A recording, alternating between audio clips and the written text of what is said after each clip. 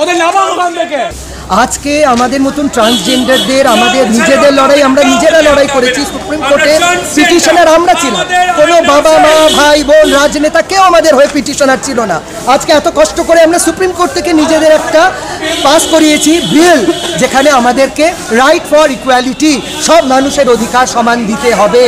কিন্তু আজকে যেই জায়গায় আমি থাকি আমি নিজে একজন পুলিশের সন্তান হয়েও আজকে যেইভাবে পুলিশ তাদের সহযোগিতায় এই ধরনের সিন্ডিকেট এই ধরনের প্রমোটারদের সহযোগিতায় যেইভাবে আমার পার্টনার যে তথাকথিত মহিলা থেকে পুরুষ তাকে খুলে হঠাৎ করে অপরিচিত কিছু মানুষকে এনে গুন্ডা লাগিয়ে পাড়ার মধ্যে ঢুকিয়ে তাকে মনিস্ট্রেশন করার চেষ্টা করে। আমাদের এইটাই প্রতিবাদ যে পুলিশ প্রশাসন থাকাকালীন এই শক্তিগুলো কি করে মাথা তুলছে? এই ধরনের এলগিন দরজার পাশেই একটা পুলিশ কোয়ার্টার যেই এরিয়াতে আমি এখানে জন্ম হয়েছি আমার near about forty two forty five years age আমি এই পাড়াতে আমার মা জন্ম হয়ে এনেছেন এবং আমার বাবা একজন পুলিশ ছিলেন। আমার নিজে ঘেন্না করছে এখন পুলিশের সন্তান বলতে যে পুলিশ এতটা কারাপ্টেড হয় যে একতরফা মহিলাদের কথা শুনে পুলিশ নীতি নিচ্ছেন। আমার নট ট্রান্স ওয়ামেন আমার নিজের চোখে দেখা। যে পুলিশ অধিকারী এখানকার তত্ত্বাবধানে আছেন রঞ্জিত বাবু যখন ঘটনাচক্রে এখানে একটা বড় কলহ বাঁধতে চলেছে তখন অন্য পুলিশ অধিকারীরা ওনাকে বললেন রঞ্জিত গাড়িতে উঠে পার এখানে থাকিস না চলে যা। বড় বাবু এলেন রঞ্জিত বাবুকে খুঁজে পাচ্ছেন না। আমাকে বলা হচ্ছে রঞ্জিত বাবু এখানেই কোথাও আছেন। রঞ্জিত বাবু এখানে কোথাও আছেন মানে কি? লুকিয়ে আছেন কেন? আমরা তো কেউ ওকে কামড়ে খাব না। পুলিশের এই দুর্নীতিগুলোকে বন্ধ আমার নিজের কানে চোখে দেওয়া হয়েছে। ভালোভাবে যদি প্রশাসন নিজের শৃঙ্খলা নষ্ট করে, তাহলে আমরা ওয়ান ফর্টি ফোর থাকাকালীন আমাদের মতন মানুষকে বুঝিয়ে দিল, তোমরা তোমাদের হস্তক্ষেপ নাও। আমরা কেউ কোনো দুর্নীতি এতদিন করিনি। আমাদেরকে সমাজে বোনা হয় যে আমরা পিছিয়ে পড়া মানুষ। আমরা কোনো কাজ কোনোভাবে অনীতিভাবে করিনি, অআইন মেনে চলিনি। সবটা নীতিভাবে করেও পুলিশ প্রশাসনের মানে অসংযোগতা রাখা আছে। এবং সব ডকুমেন্টস পুলিশকে একটা একটা করে দেখিও। পুলিশ বলল আমাকে শেখাচ্ছে যে আপনাকে শিখতে হবে আরও কীভাবে করা যায় কীভাবে ক্লার আমার তো এটা কাজ নয়। আমার কাজ হচ্ছে আমাদের মতন মানুষেরা বিকাশ পাক আমাদের মানুষেরা সুরক্ষা পাক। যেখানে আমি নিজে পশ্চিমবঙ্গ ট্রান্সজেন্ডার বোর্ডের একজন মেম্বার আমি রাষ্ট্রীয় ট্রান্সজেন্ডার বোর্ডের মেম্বার আমি এটাই অবাক হয়ে গেলাম যে রূপান্তরকামী মানুষ যেখানে পুলিশ তাদেরকে দেখলে ঘেন্না করে বের করে দেয়, হিজড়েদেরকে বের করে দাও। তাহলে হিজড়েরা কি মানুষ নয়? তাদের বাড়িতে কি হিজড়ে জন্মাবে না? কেউ বলতে পারে, আজ এই রাজ্যে মহিলাদের প্রতি নিয়ত এই ধরনের ঘৃণিতভাবে রেপ এবং মলেস্টেশন করা হচ্ছে। এর কারণও কিন্তু পুলিশ এবং প্রশাসন তার আজকে একটা সদুত্তর আমরা পেলাম যে পুলিশ কি করে টাকা খেয়ে কি সুন্দরভাবে কাজগুলো করে। আর আজকে সেটা একটা যখন সিকিউরিটি দরকার আছে সিসিটিভি ফুটেজ প্রথম থেকে বাড়ির লাগাবে সে শুধু রঞ্জিতাদির বাড়িতে থেকে চারটে সিসিটিভি লাগানো হয়েছে। সে আজকে প্রথম না। ওরা টার্গেট করেছে যখন বাড়িতে কেউ থাকবে না শিবাংশ একা ছিল ও তখন ওকে অ্যাটাক করেছে আর গাড়ি করে ওনার ল্যান্ডলেডির জামাই কুড়িখানা মহিলা নিয়ে এসছে। দিয়ে জামা কাপড় খোলার চেষ্টা করেছে।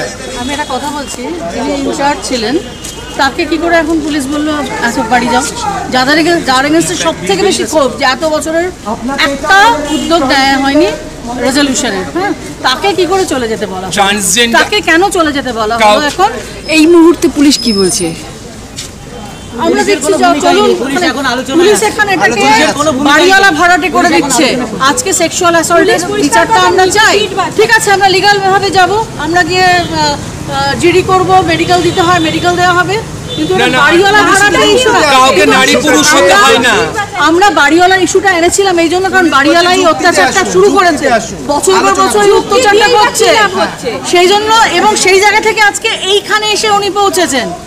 ছেলে বা মেয়ে হওয়ার দরকার নেই ইচ্ছার বিরুদ্ধে গায়ে হাত দেওয়া হলে সেটা sexual assault attempt to rape transgender sexual assault R rape act তো ওটা আইনটা বেরিয়ে গেছে এখন কাউকে নারী পুরুষ হতে হবে না রেপ বা অ্যাসল্ট করার জন্য ট্রান্সজেন্ডারের ওপরেই সেক্সুয়াল অ্যাসল্ট আর অ্যাটেম্প টু রেপ হয়েছে সেটার পুরো প্রমাণ আছে আমাদের क्या हुआ था आपके साथ मैम हुआ एक्चुअल में ये था कि जब ये लोग नहीं थे ठीक है तो तब दो गाड़ी भर के कुछ ये लोग औरतें कुछ बुलाया था मोटी मोटी सी थी।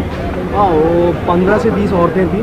जो कि इनको बुलाया गया तो मैं वो यहाँ पे इधर से उधर कर रही थी तो मैं वहाँ जाके उनको बोला। मैंने कहा, देखिए, कुछ कीजिए मत, जिनका घर है, जिनकी बाड़ी है, वो पहले आ जाए, उनसे बात कर लीजिए आप जाके, तब जाके ये सब करना गेट वेट जो भी, क्योंकि अभी कोई नहीं है तो आप यहाँ पे अभी मत कीजिए।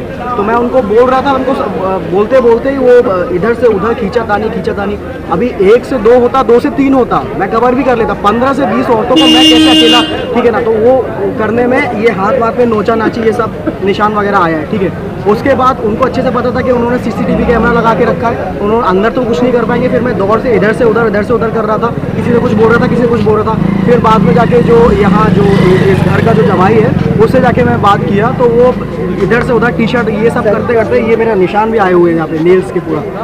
ये सारी चीज़ें। कब का घट- घटना है? ये 11 से 1 के बीच का इंसिडेंट है। जब हुआ था, तब मैंने वीडियो कॉलिंग करी थी रंजिता को, उसको दिखाया भी था कि, ये देखो, ये लोग क्या बदतमीजी कर रहे हैं। मैं बहुत सभ्य से बोला, बहुत अच्छे से बोला। लेकिन इस तरह से जब खींचातानी तो खींचातानी में कुछ सभ्य और कुछ समझ में नहीं आया मुझे।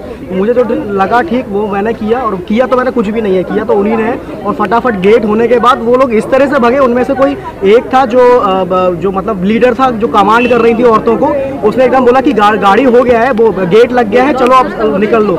तो वो सब की सब औरतें भग के वो गाड़ी में उन, उनको एक को मैंने पकड़ा भी था। तो जो मैंने जिसको पकड़ा था उनके पेट में कुछ शायद लग गया था पता नहीं मुझे। तो मैंने उनसे ये बोला मैंने कहा एक मिनट रुक जाओ ये जो आप तो कर गई ठीक है उन- जिनकी जिनका घर है उनको आ जाने दो उसके बाद आप चले जाना। तो लोग फटाक से दोनों गाड़ी भर के जहाँ से पता नहीं कहाँ से आएँगे वो लोग और वहीं के वहीं वो लोग भर के चले गए।